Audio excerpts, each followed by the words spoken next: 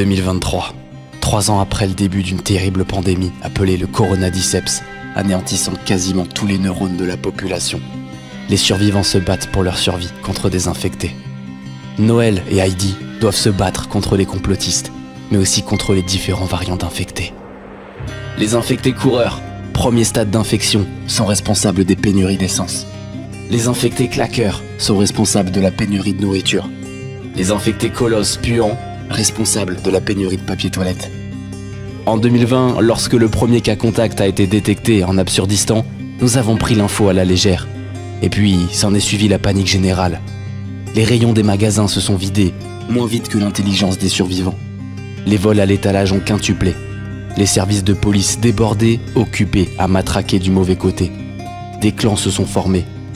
Pour se différencier, certains ont porté des gilets. Ce sont les premiers à être tombés. Les derniers survivants sont tous armés, prêts à dégainer leur téléphone pour filmer. Ça tire à coups de 5G. Dans ce monde ouvert post-apocalyptique, vous ne pourrez pas faire confiance à n'importe qui. Sillonnez les rues parisiennes abandonnées, parcourez la ville et les champs aiguisés, récupérez des armes au pied de la tour Eiffel, escaladez sur les toits de Paris, portez un masque pour ne pas respirer l'air pollué, brûlez les nids d'infectés.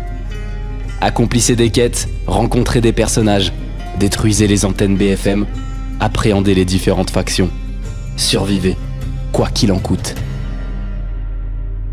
Eh, ça claque hein, quand même, hein, ce scénario de jeu vidéo. Alors oui, c'est du The Last of Us mélangé à Days Gone, mélangé au monde à peu près réel.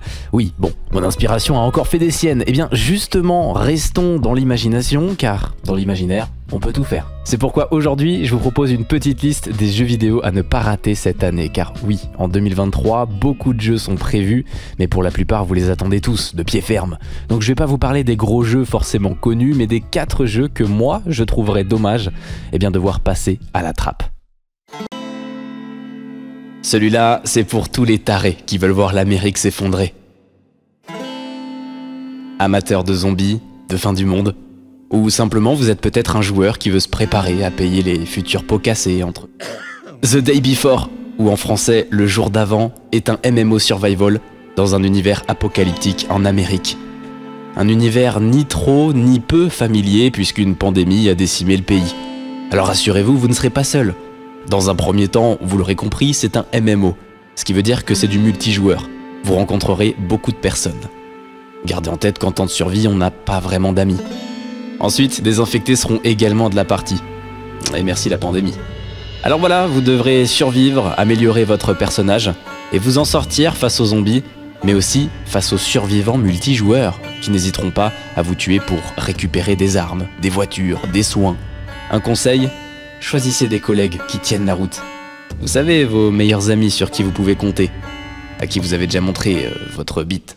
The Day Before, ça sort le jour d'après, évidemment, le 1er mars, sur PC, à son lancement.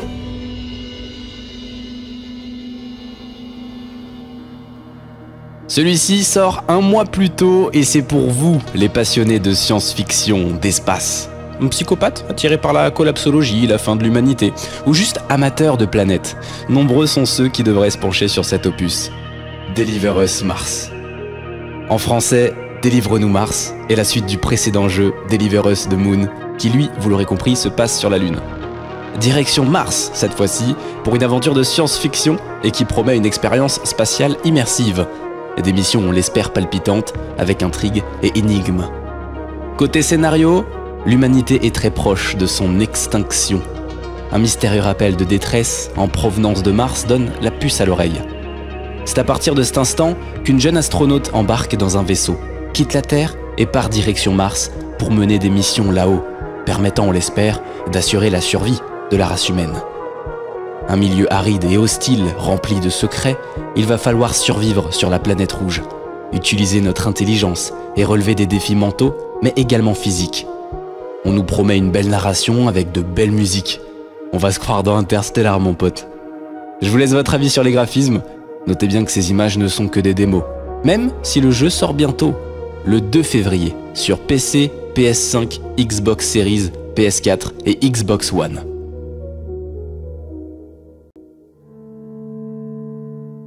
Avis aux fans de Minecraft, mais aussi à ceux qui n'y sont pas familiers. Minecraft Legends. Un jeu qui reprend l'univers du célèbre jeu, mais qui n'est pas le même.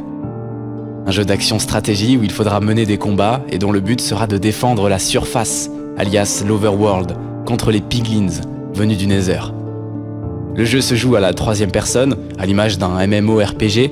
Les studios de Mojang sont derrière le développement. Ce jeu, c'est l'idéal pour se replonger, mais de manière toute différente, dans l'univers de Minecraft. Alors vous l'aurez compris, ici le but c'est pas de finir le jeu en tuant un dragon, mais d'empêcher l'invasion des cochons méchants. Il y aura également du PVP, vous pourrez affronter vos amis ou au contraire faire équipe pour défendre votre village.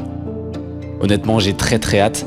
Minecraft Legends est prévu courant printemps sur toutes les consoles. Toutes On ne le présente plus. J'ai déjà deux vidéos à son compte que je vous invite à regarder. Mais il fallait que je le mette dans ce classement car c'est le jeu que j'attends le plus et qui sortira le 23 février. Jeu d'horreur et de survie en monde ouvert qui vous projettera sur une île à la recherche d'un milliardaire disparu. Survivez et combattez comme sur son prédécesseur The Forest. De nouvelles forces démoniaques seront de la partie, des nouvelles constructions également, matériaux, armes, saison dynamique, coopération. Rendez-vous le 23 février pour Sons of the Forest, uniquement sur PC à sa sortie et sur console par la suite.